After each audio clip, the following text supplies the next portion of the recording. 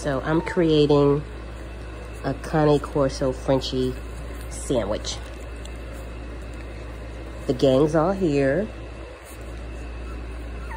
Look at the babies. Look at the babies.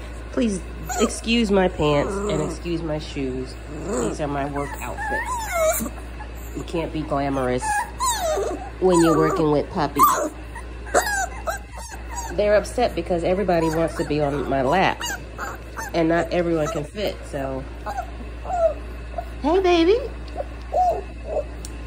This is my break in between calls. I got about 10 minutes left, so I'm gonna suck it up. Thank you, babies.